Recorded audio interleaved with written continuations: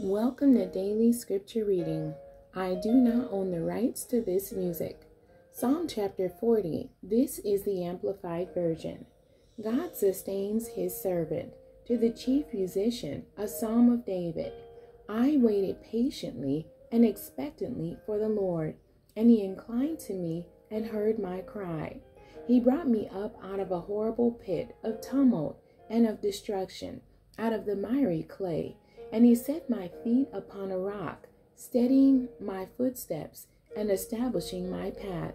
He put a new song in my mouth, a song of praise to our God.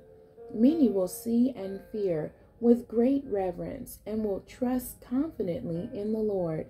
Blessed, fortunate, prosperous, and favored by God is a man who makes the Lord his trust and does not regard the proud nor those who lapse into lies.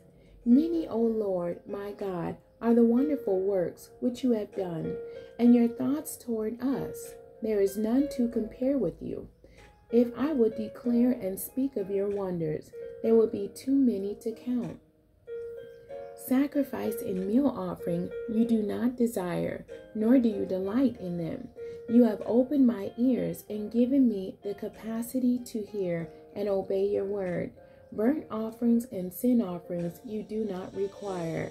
Then I said, Behold, I come to the throne. In the scroll of the book it is written of me, I delight to do your will, O my God. Your law is within my heart. I have proclaimed good news of righteousness and the joy that comes from obedience to you in the great assembly. Behold, I will not restrain, my lips from proclaiming your righteousness, as you know, O Lord. I have not concealed your righteousness within my heart. I have proclaimed your faithfulness and your salvation. I have not sealed your loving kindness and your truth from the great assembly. Do not withhold your compassion and tender mercy from me, O Lord. Your loving kindness and your truth will continually preserve me. For innumerable evils have encompassed me, my sins have overtaken me, so that I am not able to see. They are more numerous than the hairs of my head, and my heart has failed me. Be pleased, O Lord, to save me. O Lord, make haste to help me. Let those be ashamed and humiliated together who seek my life to destroy it. Let those be turned back in defeat and dishonored who delight in my hurt. Let those be appalled and desolate because of their shame, who say to me, Aha, aha, rejoicing in my misfortune. Let all who seek you rejoice and be glad in you.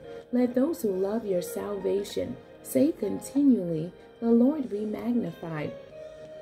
Even though I am afflicted and needy, still the Lord takes thought and is mindful of me. You are my help and my rescuer. Oh my God, do not delay.